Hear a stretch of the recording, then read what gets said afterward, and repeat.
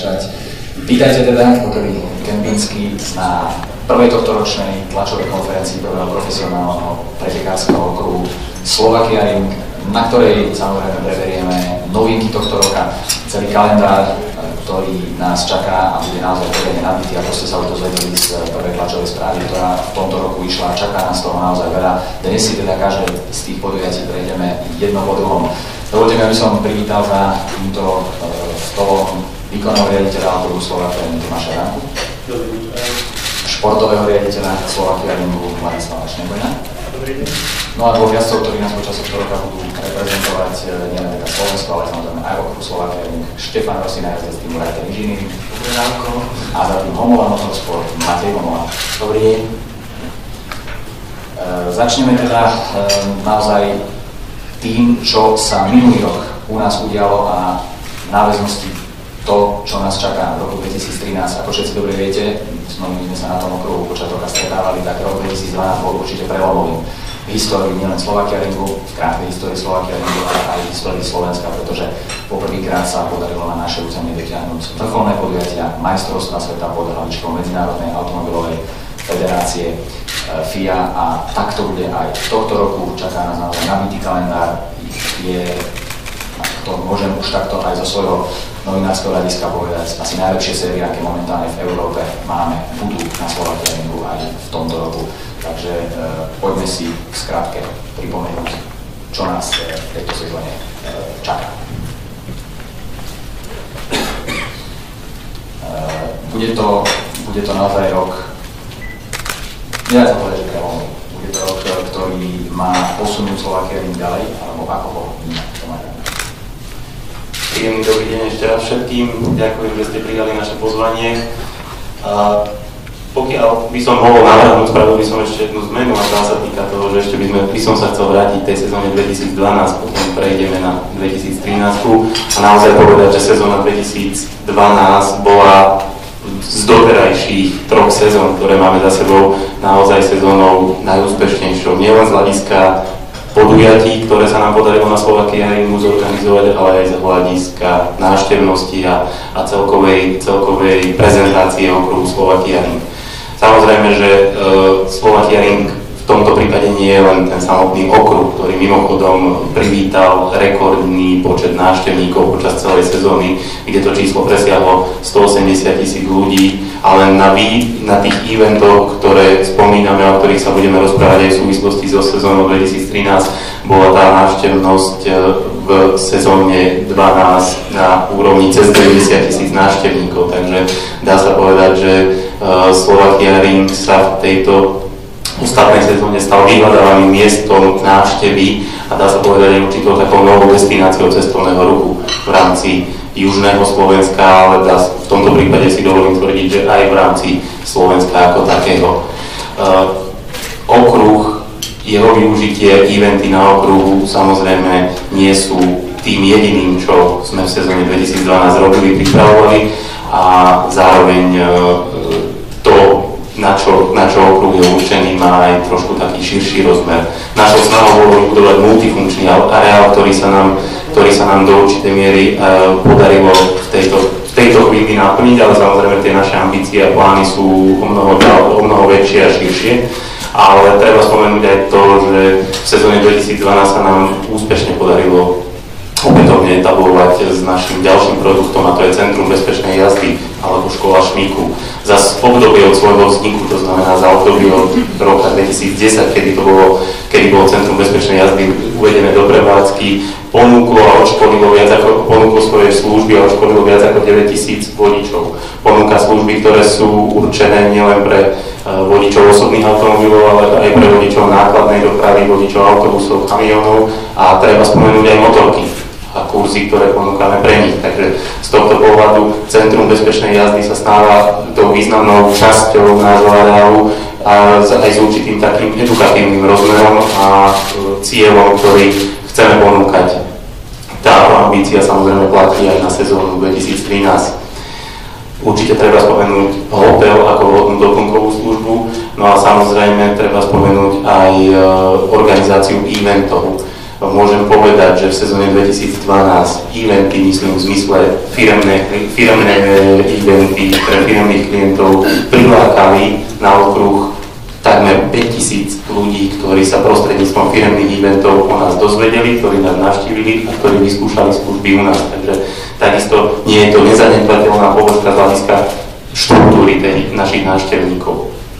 Čo sa týka tej sezóny 2013, tam je naša ambícia jednoznačná pokračovať v aktivitách, ktoré prinášajú a, a zabezpečujú návštevnosť divákov, zabezpečujú zvyšovanie povedomia o Slovakiaringu nielen na Slovensku, ale aj v zahraničí, za čo samozrejme patrí nemalá vďaka aj vám, novinárom, ktorí o nás píšete a ktorí, ktorí prichádzate na naše eventy a ktorí informujete širokú verejnosť o tom, že Slovakiaring existuje a Slovakiaring je životaschopný projekt, ktorý má ambíciu sa posúvať a rásť.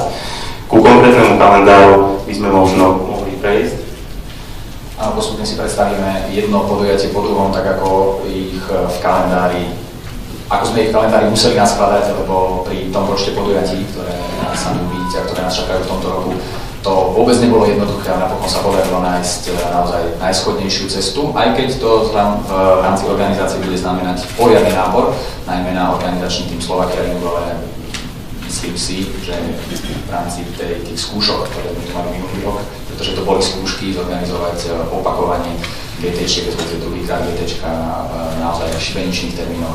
Slovakia dokázal, že dokáže takéto podujatie organizovať na veľmi vysokej úrovni a svedčia o tom aj reakcie zo zahraničia. Poďme teda k sezóne 2013, ktorá nás čaká hneď to prvé veľké podujatie, ktoré, e, ktorým otvoríme vlastne oficiálne sezónu, bude na začiatku apríla Veľká cena Slovenskej republiky pre cestných motocyklov v rámci šampionátu Alpe Adria, teda ten e, alpsko-jadranský šampionát, v ktorom štartujú samozrejme aj slovenskí, e, slovenskí jazdci toto podujatie má veľký úspech, e, čo sa týka tej motocyklovej verejnosti. V Lani sme dvakrát organizovali ako zaskakujúci e, promoter a zaskakujúci organizátor na konci sezóny a veríme, že toto podujatie veľmi dobre odpáli túto našu sezónu a hneď na konci apríla nás čaká už vrchol sezóny, dá sa to tak povedať, pretože sú to majstrovstva sveta cestovných automobilov e, VTCC, ktoré sme prosili poprvýkrát v Lani, máme teda bojujú aj na VTCC, e, určite sa tam mnohí boli. Majstrovstva sveta cestovných automobilov, Poltovačkov Medzinárodnej automobilovej federácie patria medzi tie najviac propagované a najviac navštevované e, podujatia v Lani. Navštívilo náš okruh 42 tisíc ľudí a myslím si, že bude na čom stavať, pretože okruh si dokázal urobiť aj cez túto návštevu naozaj veľmi dobré meno. Viac k tomu môže povedať Vladislav Šnegor. Ďakujem za slovo. E, zostáva nám zhruba 38 dní e, dátumu, kedy sa poštartuje sezóna 2013. Začíname tradične, VDT začína tradične e, v Monaku, v Monze, pardon, v Taliansku. A potom sa presúva do Maroka a tretie kolo koncom apríla v termíne 27-28 apríl sa pôjde u nás na Slovakia Ringu. Ďalšie podujatia ešte máme v, v Európe na Hungaroringu z Hasburingu. Novinkou pre 2013 bude účasť VTTC v Moskve na novom okruhu a potom sa VTTC presúva v druhej polovičke roka do, do Ameriky, najskôr Severná a Južná Amerika a následne do Ázie, do Číny a Japonska a potom sa vracia na jeseň do Makao, kde ako 12. 12. podujatie bude končiť. Čo sa týka vlaňajšieho podujatia u nás, ten program, v tom, že sme mali skutočne málo času na to, aby sme uspeli toto podujatie, keď sme sa dohodli s promotérom na 1. januára a februára. Prechádza určitými zmenami. V 2013 máme výrazne viac času na to, aby sme to podujatie pripravili. Môžem povedať, že je veľký záujem aj zo strany ďalších organizátorov, aby sa pripojili k našemu eventu aby obohatili program. Len ako si pamätáte, e, program bol len e, e, majstrovstvá sveta a majstrovstvá Európy a neboli tomu žiadne iné podporné podujatia. V tomto roku privítame Volkswagen Golf Cup, ktorá je novinka vôbec v Strednej Európe. Je to polský promotér, ktorý je poverený fabrikou Volkswagen organizovaním tohto nového seriálu, kde postavili zhruba 25 vozidiel, ktoré sa, ktoré sa zúčastnia tohto seriálu.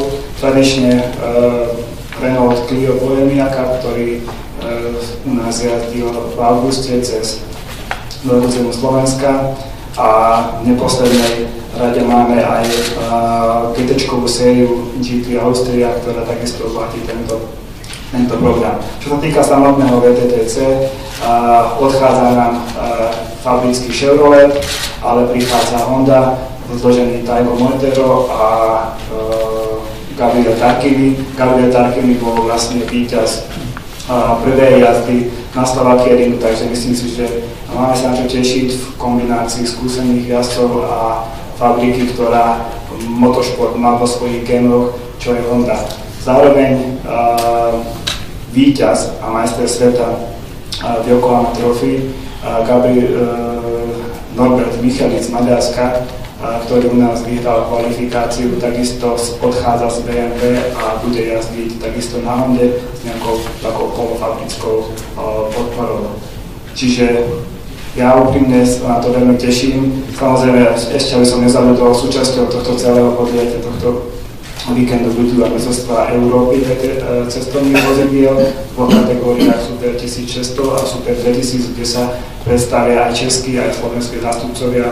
Našu krajinu bude zastupovať Maťo Homola, ktorého, ktorý je tu medzi nami. Ďakujem. Ďakujem pekne. No a práve otázka na Maťa Homolu. Ako e, teda on vníma to, že Slovakia bol v Lani e, práve v tomto európskom pohári cestovných vozidel ETCC skončili tam na treťom mieste. Prvýkrát sme teda videli v tomto významnom kontinentálnom podujatí aj Slovensku aj na stupňom výťazov, či niečo podobné môžeme povedať Dobrý deň ešte raz. Eh, pre nás, pre môj tým to bolo veľké zadozučenie, že sa nám podarilo takýto významný úspech na domácej pôde a určite sa o to budem pokúšať tento rok. Máme na to stavať, máme pevné základy, už sa nám minulý rok podarilo dobré výsledky a ja dúfam, že môžeme si ešte zlepšiť to umiestnenie na Slovakia Ringu a určite chcem uh, vystúpiť na tú 5 a možno ešte na ten vyšší stupienok. Samozrejme budeme držať palce. K tomu VTCC ešte jedna veľmi dôležitá informácia, o ktorej ste už mnohí zrejme čítali.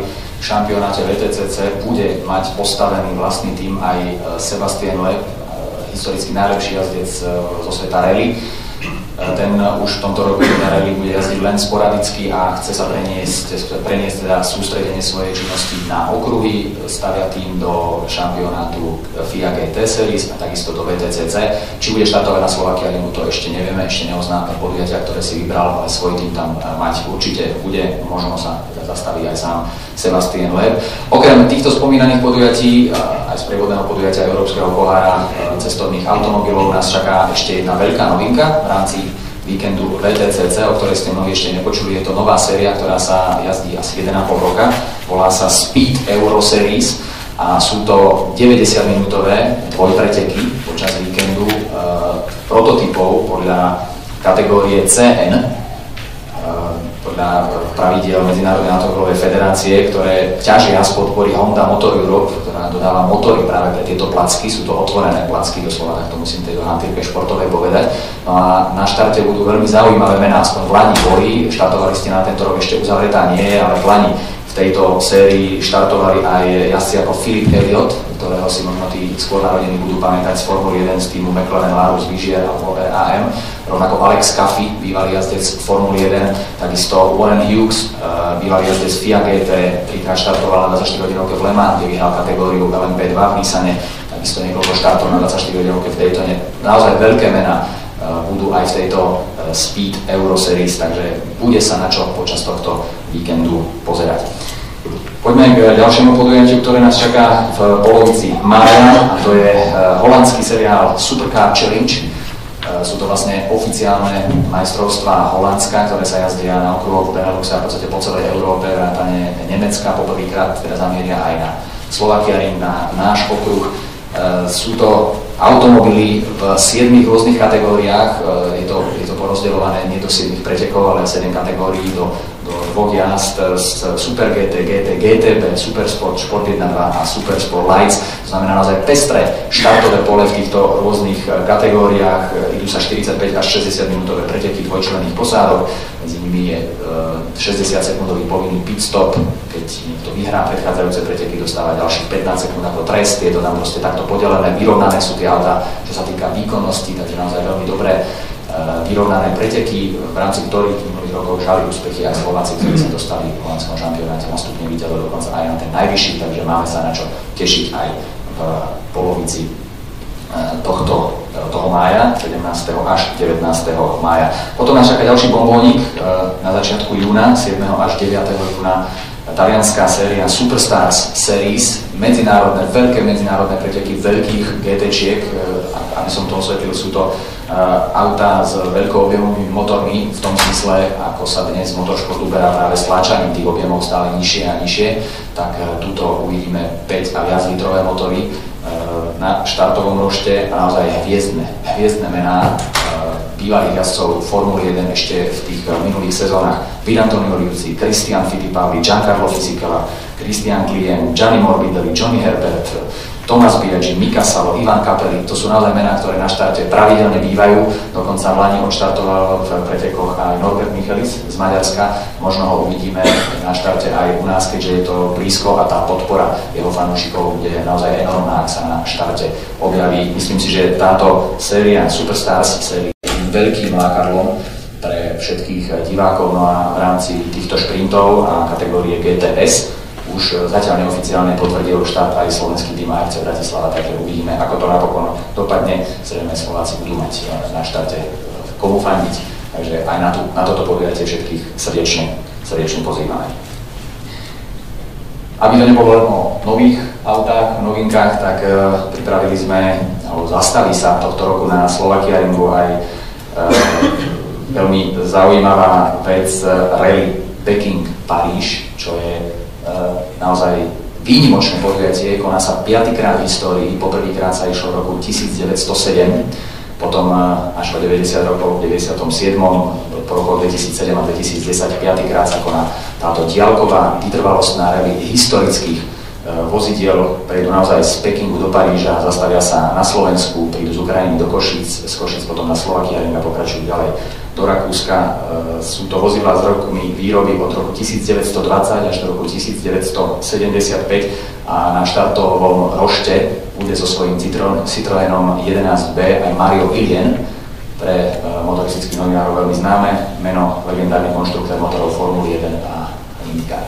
Takže toto takisto uvidíme na Slovakia určite fotoaparáty máte pripravené, pretože také auta vidieť v pojazdnom stave a na takéto dlhé trase, tak to bude naozaj zázrak. Naozaj úžasná záležitosť. Trošku netradične, ale aj bezmotorové pretekanie má svoje miesto na Slovakia Ringu v rámci možno tých zelených trendov, ktoré vo svete momentálne vládnu. Výnimočné podujatie poprvýkrát v rámci strednej a východnej Európy 24-hodinové cyklistické preteky na Slovakia Ringu v rámci toho úspechu, ktoré sme v Lani čo sme v Lani videli na Slovakia Ringu úspechu, čo sa týka aj početnosti štartového poľa, sa teraz e, podarilo zorganizovať 24-hodinové cyklistické preteky, ktoré budú aj v kalendári Medzinárodnej cyklistickej únie UCI. Takže to bude uh, určite niečo, na čo by sme vás srdečne pozvali, možno aj z trošku iného hľadiska, pretože uh, bol, bol by som veľmi rád, keby sa možno aj našim kolegom novinárom podarilo postaviť tým, pretože to nie je len o profesionáloch, ale aj o amatéroch, čiže aj amatéri, bežní ľudia môžu spokojne odštartovať v týchto pretekoch. A viem, že máme niekoľko cyklistov e, medzi motoristickými novinármi, tak možno, že by sme sa mohli dohodnúť a postaviť na to 24 hodinovú nejaký 8 členný tým. Uvidíme, ako to, ako to príde. Samozrejme, bude treba na to, na to poriadne trénovať. No a potom e, cez 24 hodinovú ARC Brno také poloamatérske, poloprofesionálne preteky a rakúsky Porsche Alpen Pokal sa, to, čo je vlastne značkový seriál Porsche, kde bývajú naozaj početné štartové polia. Dostaneme k ďalšiemu vrcholu sezóny 16. až 18. augusta FIA GT Series, ktorú sme v Lani mali dvakrát na Slovakia Ringu. Táto séria sa trošku transformovala, viac o nej nám povie Ladislav GT Series má naplánované na august, 16. 18. august u nás. Pôjde trošku pozmenenom formáte, nebude to mať titul na svete sveta, vzhľadom k tomu, že promotér pri rokovaní so zástupcami jednotlivých tímov podľa mu teda klad, klad, kladený dôraz na to, aby sa obmedzili cestovné náklady a tým pádom je naplánované v rámci 6 seriálu len jedno podujatie mimo Európy, ktoré zatiaľ nie je ešte upresnené, pravdepodobne bude v Ázii, ale celý seriál sa pôjde vlastne zbytok na Slovensku a tým pádom na Slovensku na, v Európe a tým pádom stráca možnosť um, titulu na sveta. Ale bude to po FIA a bude to oficiálny, oficiálna séria, ktorá, ktorú zastrešuje promotér najplanejších GT1 alebo najplanejších GT3 Prvé podujatie pôjde vo Francúzsku, druhé v Belgicku, tretie v Holandsku, štvrté kolo v auguste pôjde u nás, potom sa ide v Španielsku a šiesté podujatie je naplánované na tú, uh, do tej Ázie. Ten formát zostáva nezmenený, to znamená, uh, v sobotu sa pôjde kvalifikácia, kvalifikačný pretek a v nedelu jednohodinový uh, pretek, kde, ktorý trvá 60 minút, kde ten model zostáva v tej istej podobe. Zatiaľ promotér komunikuje jednotlivými týmami o účasti, je relatívne málo informácií, zrejme my takisto čakáme na doplňujúce informácie, aby sme sa vedeli na to podujatie pripraviť. A zároveň hľadáme a rokujeme s ďalšími organizátormi sérií, ktoré by podporili tento formát pretekov u nás. Myslím si, že kto ste u nás brali boli na prvých či druhých mestostách sveta. A mali ste možnosť vidieť zájmové súboje. Myslím si, že aj e, Štofy sa pričinil od, od zrušenia na, e, medzi divákmi a medzi fanúšikmi, takže ja úprimne sa teším, myslím si, že ho budeme vidieť aj tento rok. A verím, že, to, že tá séria uh, sa vydarí uh, tak, ako si to promotér praje a že bude mať pokračovanie aj v týchto ťažkých ekonomických podmienkách účasť v tomto šampionáte potvrdil takisto aj Sebastian Leb, ktorý sme už spomínali v rámci VTCC, tak vo FIA GT Series teda bude mať vlastný tím, bude štartovať s McLarenom MP4 12C spoločne s portugalčanom Alvarom Parentem, ktorého sme videli aj na obrázkoch e, práve pri, tej, e, pri tej nehode na, na tom e, druhom horizonte.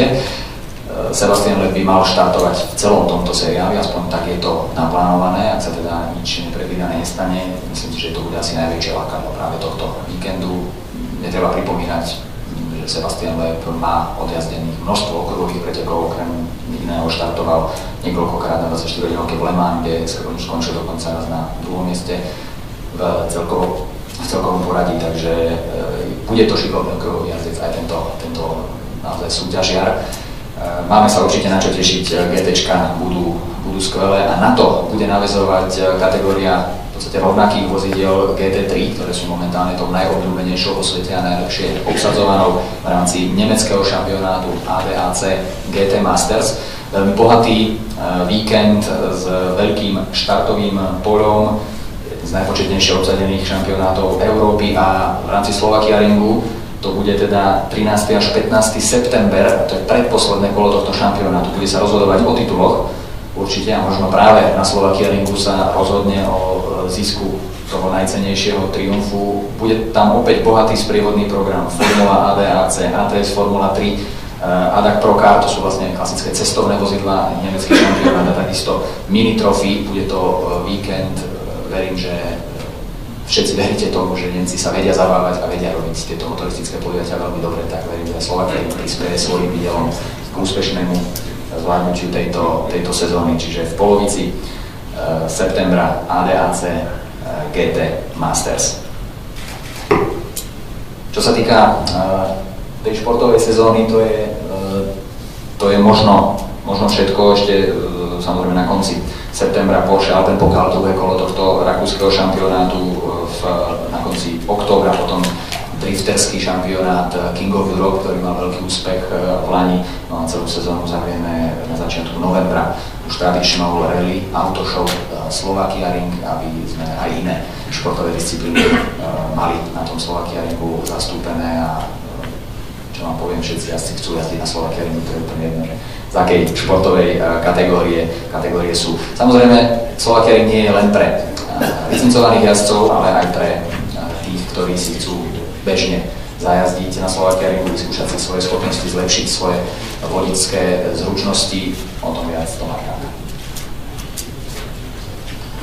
Tak ako pri otvorení, respektíve pri štarte sezóny, prvej ostrej sezóny v roku 2010 sme avizovali, že máme záujem prinášať, e, prinášať a ponúkať služby aj pre tých, ktorí naozaj nemajú ani licenciu pretekárskeho jazdca a nemajú možno ani žiadnu doterajšiu reálnu skúsenosť s jazdením na okruhu, tak vlastne túto ambíciu naplňame a potvrdzujeme aj v sezóne 2013, kde opätovne môžem povedať, že budeme pokračovať s voľnými jazdami pre verejnosť tom režime, ako doteraz boli zavedené do fungovania. To znamená, že 4 dní v týždni sa jazdili auta, 3 dní v týždni sa jazdili motorky, vždy v tom režime večer od 18. do 20. respektíve na, na, pri začiatku sezóny a na konci sezóny v závislosti od toho, aké aké bude uh, denné svetlo, ale určite môžem povedať, že voľné jazdy ako také fungovať budú, bude fungovať naša autopožičovňa tak ako fungovala doteraz.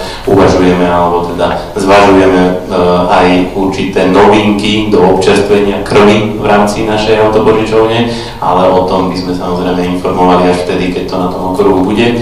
Takisto budú fungovať naše služby, ktoré sú postavené na ponuke race taxi, to znamená jazdy, jazdy na sedadle spolujazca, kde ten výber vozidiel aut, ktoré dneska máme v ponuke, je naozaj pestrý a široký a v podstate každý, kto má záujem vyskúšať si ten okruh, možno v prvom kole nie, nie ako jazdec, ale len ako spolujazdec si vie prísť na svoje aj v tejto oblasti.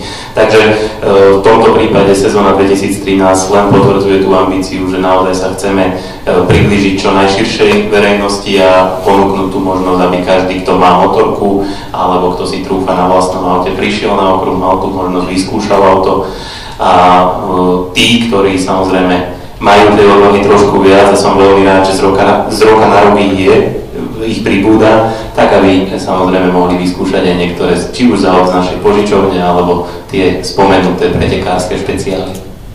Keď sme pri tom, tak e, pripomínam, že v rámci tých materiálov, ktoré ste dostali pri vstupe do tejto miestnosti, aj poukážka na voľnej jazdy na Slovakia Ringu, tak vás srdečne pozývame, aby ste si prišli vyskúšať vlastné schopnosti na našom e, okruhu. No a čo sa týka tých e, podujatí a akreditácií na podujatia, tak tam v podstate nebude nič nové, bude to prebieha tak, ako to bolo v Lani. To znamená, národné médiá sa akreditujú u média delegáta Slovakia Ringu, ktorý bude aj tento rok Martin Trenkler. Medzinárodné médiá musia kontaktovať promotéra šampionátu a ich médiá delegáta. Všetky informácie budú samozrejme v priebehu sezóny aktualizované aj na stránke slovakia.sk. Všetko podstatné nájdete, prípadne telefonujte naše čísla všetci, všetci poznáte a máte. No a e, poďme k Štofimu Rosinovi. Tie dva posledné šampionáty, ktoré sme spomínali, teda FIA GT Series a ADAC GT Masters sa týkali v minulej sezóne 2012 výrazne aj teba, čo teda ty a Slovakia Ring a tieto série v roku 2013. Dobrý deň, prajem. Tento rok našťastie, ako minulý rok, si ma vybral automobilka Lamborghini, aby som ich reprezentoval Takže vyzerá to tak, že v týchto dvoch významných podujatiach e, Fiat GT a takisto Adra GT Masters by sme mali štartovať. Ono povedzme si úprimne, že to Lamborghini moc si s tým Slovakia ringom nerozumie, pretože väčšinou sme nedošli do cieľa, takže mne neostáva nič iné, len dúfať, že to tento rok bude lepšie. Teraz si som povedal, že chýbajú medzi kuse, ale neviem, čo by si na to povedal. neviem, tak to auto nemalo problém na žiadny podujatia, dá sa povedať, v, za celú tú kariéru, ktorú jazdí. Takisto ja som rád, že sa nám vlastne na posledných závodoch FIA GT jednotky ešte staré podarilo byť na, na 5 dní, takže to auto není zlé a hovorím, ja som rozmýšľal, že čo povedať, ale myslím si, že ostáva len dúfať, že, že to teraz dojazdíme určite to prelomíš v tomto roku, sme o tom eh, presvedčení. Eh, Slovakia Ring ako, ako taký je živý organizmus, o tom dúfam nikto nepochybuje, nie je to naozaj len o tom, že ten sa postaví a zostane tak, ako, ako je. V rámci týchto športových podujatí tej amatérskej rovine musíme oznámiť, že teda aj v tomto roku bude pokračovať seriál Time Attack, určený pre amatérských jazdcov, prídu s vlastným automobilom. Termíny samozrejme všetko oznámime v rámci toho nabitého kalendára na našej stránke. Okrem iného bude aj podobný šampionát, ale už soficiálnený, ktorý vychádza z minuloročného motokapu, budú to vlastne otvorené majstrovstvá Slovenskej republiky v pretekoch motocyklov spoločne s Maďarskou motocyklovou federáciou. Pôjde sa šesťdielný seriál, tri z toho sa pôjdu na Slovakiadu, to znamená, že motocykloví jazdci, e, tí poloamatérskí alebo amatérskí, ktorí majú kursy zmerať svoje síly s zahraničnou konkurenciou, budú mať e, možnosť odštartovať na Slovakiadu v rámci tohto šampionátu. E, z našej strany zatiaľ všetko, určite máte množstvo otázok, takže nech sa páči čas na vaše otázky. Tu je mikrofón. Sa páči. Děkuji. Pan Zdeník, Horánské novinky, Vysočina. Já bych měl na pana Jana tady uh, informaci, jak si hovořil ohledně těch rally packing, uh, autáky přijel jsem na okruh, uh, ptám se, bude tady pouze seřadiště, anebo budou mít uh, okruhovou vložku jako na čas, závody na čas? Já to Vladislav Šengel budú mať vložku na jedno kolo. My využijeme naše skúsenosti z organizovania autoshow, takže spojíme čas okruhu, čas servisných ciest do nejakého zaujímavého asi 7-8 km rýchlostnej vložky, ktorá sa povedia, ktorú každý z tých účastníkov absolvuje jedenkrát. Děkuji. Další otázka na Štefane. Ty zdravím, ahoj. Štefane, eh, jak jsme tady hovořili asi to čtyři měsíce, tak si váhali, jestli budeš ještě za do manžiny, jestli budeš jezdit nebo nečekáš si na, jí, na jejich návrh, na podmínky, asi to bylo dopadlo dobře, že pokračuješ, což ti přeji. A zeptám se, to jako odborníka, jaký máš názor na ten retarder před horizontem na druhé straně okruhu, kde ne podle mého názoru, taky trochu si mezi ten retarder spíše nebezpečnější, protože ty auta tam musí nasmít a autem projede jenom jednotný nad radérem, než kdyby to byla plynulá jízda na horizont a na horizontu si potom zabrzdí, jak to potřebuje. Jaký na to máš názor jako pilot první třídy? No, zdravíčko, tak e, ja plne súhlasím s týmto, pretože my sme tam dosahovali rýchlosť okolo 220 km za hodinu. To znamená, že keby to auto sa trošku dotkne tých gum, tak by to možno dopadlo horšie, keby rovno zlietlo na tom horizonte. Ono, uh, ja si myslím, že aj Slovakiani ako taký není s tým moc spokojní, ale oni nemali na výber, pretože toto bolo nakázanie z, z FIA, takže to nebol nápad e, náš. A ja, ja ako úprimne za seba, ak mám povedať, tak ja si myslím, že ani ten horizont není myslí, pretože tak ako ten jazdec do zatačky musí sa prispôsobiť podmienkam, takisto by sa mal prispôsobiť aj tomu horizontu, takže myslím si, že to je taká patová situácia, kde, kde, kde ťažko už sa niečo dá s tým spraviť, hovorím, ja nerozumiem tomu retardéru pred tým horizontom, ale bohužiaľ je to, je to, je to rozkaz a nič iné sa s tým nedá robiť. Ja si myslím, že, že ľudia z okruhu pracujú na tom, že by tam možno, že ešte urobili nejakú takú ľahkú prestavbu, neviem presne, ale hovorím, ja, ja si myslím, že možno, že by sa oplatilo aj počkať 1, 2, 3 roky, a ten ten tam pomaličky do tej aby mohol zmiznúť. Ale jednoznačne nie je to, nie to dobré riešenie a nemyslím si, že FIA rozhodla v tomto správne. Otázka, můžu slyšet. A ten retardner je na určitý části závodu nebo na celoročně? Ak dobre dovolíte, skúsim ja. Uh, ďakujem, ďakujem veľmi pekne za názor a som rád, respektíve, že počujem tento názor aj od, aj od Štofyho, vzhľadom na to, že to není názor len, len jeden, ktorý sa v tomto smere a to, v tomto duchu vyjadruje. Ten retarder bol v podstate povinnosť inštalovať tento mobilný retarder bola e, v súvislosti s tým, aby sme mohli zorganizovať GT-čkové preteky e, v tom rozsahu, na tom variante, na ktorom, na ktorom sa jazdili a retarder bol niečo ako, ako povinnosť, ktorú nám udelila Bezpečnostná komisia v rámci FIA na to, aby sme tam tú rýchlosť, nájazdovú rýchlosť na horizont zmenili. S tým, že e, poviem, poviem niečo viac, čo sa týka aktuálnej situácie. Momentálne komunikujeme. My sme pripravili niekoľko, niekoľko variantných riešení, ktorý, ktoré by v podstate znamenali zníženie tej rýchlosti. V každom prípade e, sa stotožňujeme s názormi odbornej verejnosti a de facto je to aj náš pôvodný názor nesúhlasíme s inštaláciou alebo vybudovaním nejakého trvalé, e, trvalého obmedzenia alebo forme šikany. Skôr sme ponúkli a zaslali na odsúhlasenie, respektíve na diskusiu e, zástupcom FIA e, riešenie, ktoré by znamenalo, alebo ktoré by zachovalo pôvodný layout, pôvodný dizajn tej trate, zachovalo by tam naozaj tú krásnu druhú dlhú zákrutu, z ktorej vychádzate na horizont, ale zároveň teda by splnili sa alebo boli dodržané všetky bezpečnostné parametre, ktoré tam dodržané majú byť a z pohľadu komisárov a inšpektorov, e, ktorý, na ktorých oni trvajú.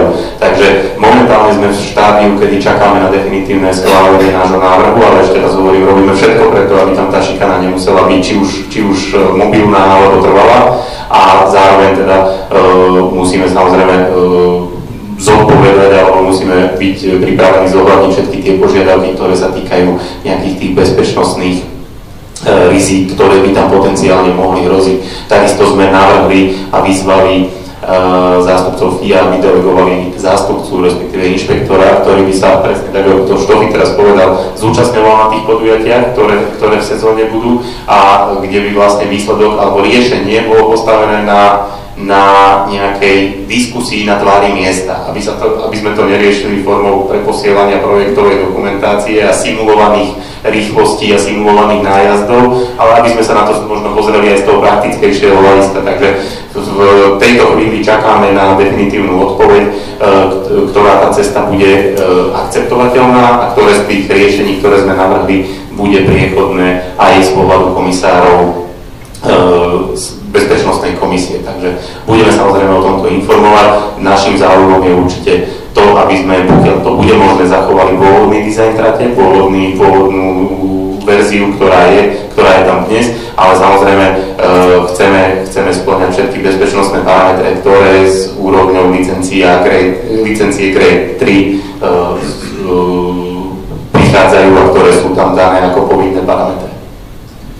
Ja by som ešte dodal, že možno, že to bolo aj trošku závisť od ostatných ľudí, pretože skutočne, keď sa pozriem teraz na ten kalendár, že Slovakia ich dokázal vybudovať, respektíve priviesť takéto motoristické série sem, tak keď si zoberieme, tak jednoznačne v, v Polsku ani, ani, v, ani v Čechách takéto niečo nemá období, respektíve samozrejme, že neviem, to 10 rokov dozadu Fiat GT sa tam štartovalo, predsa len VTCC a tak ďalej, takže Takže ja dúfam, že to sa všetko potom úspešne vyrieši a nebude sa musieť nič meniť. Ďakujem. Ďakujem. Ďalšie otázky? Štefan Žilka, chcem sa spýtať, nevidím v tom nabitom kalendári nikde žiadne podujatie FIA e, majstrovstie sveta GT1, GT3. Chcem sa spýtať, čo sa stalo, či si ako promotér dáva teraz v tomto tejto globálnej kríze nejakú prestávku, alebo či, to, eh, či tento seriál sa zrušil. Ďakujem.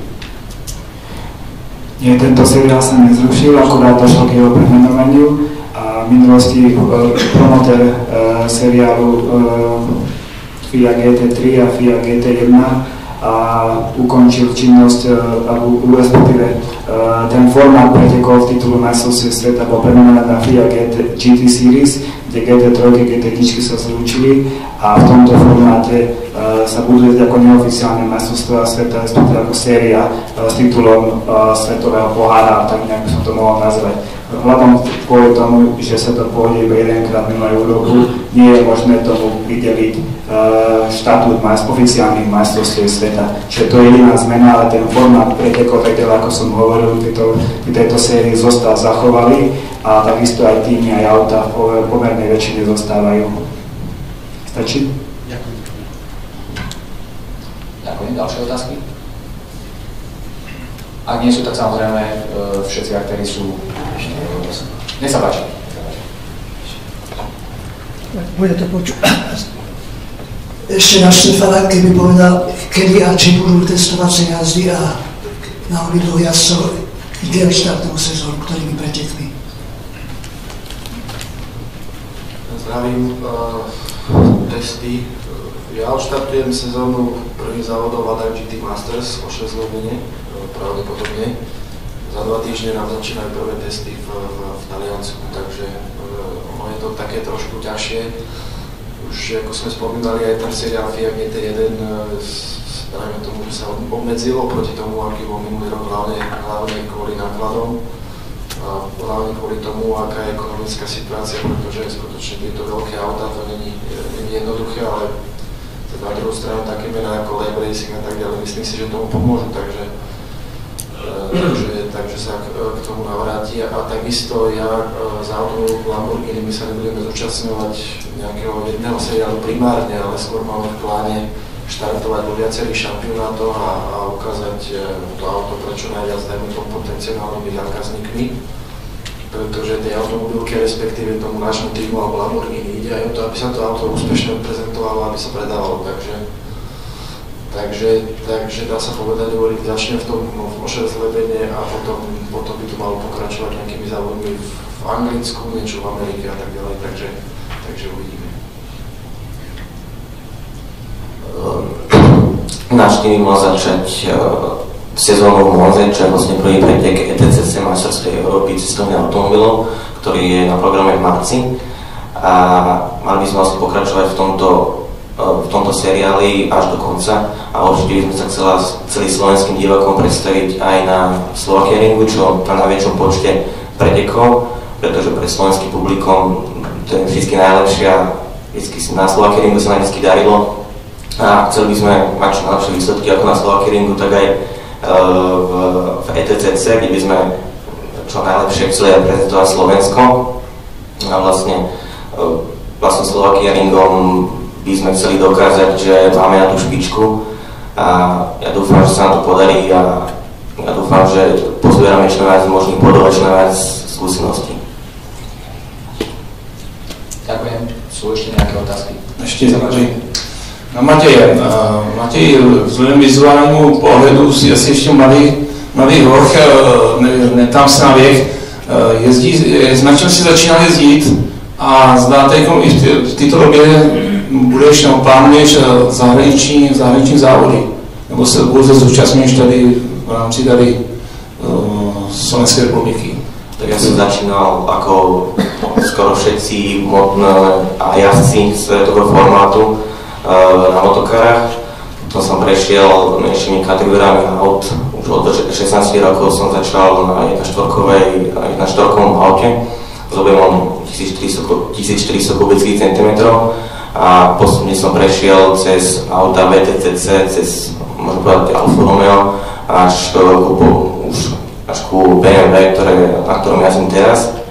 A určite by sme sa chceli predstaviť už spomínanom ETCC, aj v zahraničí. Je to Monze, ako som spomínal, prvý pretek, potom tretí pretek po Slovakia ringu je Salzburg potom Brno je posledný pretek a ešte tam má byť nejaký pretek v, v Taliansku, ale to ešte nie je isté, ktorý, možno to bude Imola, takže určite by sme sa chcel predstaviť na, na tejto medzinárodnej scéne. Ako som spomínal, tak určite vo veľkej miere by sme sa chceli zúčastniť aj na Slovakia ringu, či už to je veľká cena Slovenskej republiky, v auguste uvidíme, uvidíme, ako na tomto financie. Dobrý deň, Tibor Berender, Svet komunikácie. Chcem sa opýtať, e, vidím, že ste teda pritiahli Superstar Series e, na Slovensko a chcem sa opýtať, či nemáte ambíciu v najbližšom horizonte, alebo teda možno ste už aj oslovili seriál DTM, čo už je teda plná špička, ale to už dosť blízko k tejto kategórii Superstar Series.